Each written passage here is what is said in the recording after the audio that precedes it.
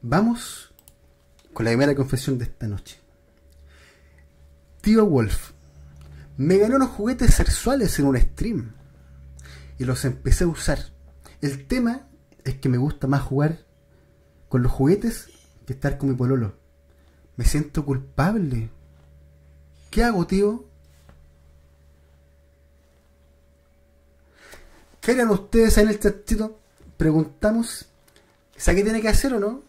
Si a usted le gusta jugar con sus juguetes, dígale al pololo que jueguen, pues viejo. Dígale al pololo que, que participe de ese jugueteo, pues viejo. ¿ah?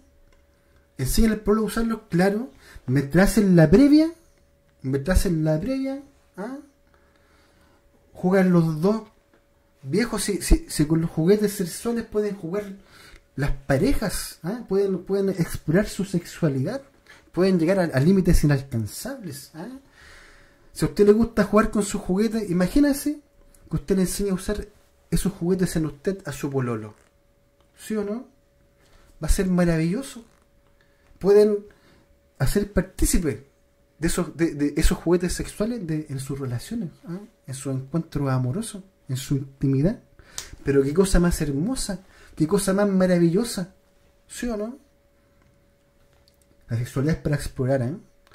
Y eh, si una persona a ustedes los ama y los quiere, los comprende, va a querer ser partícipe de eso, pues, viejo. ¿eh? Si esos tabús son cosas del pasado, ¿eh? todos queremos pasarla bien. Eh, los coros no solo pueden ser para hacer un arco. claro, claro, claro.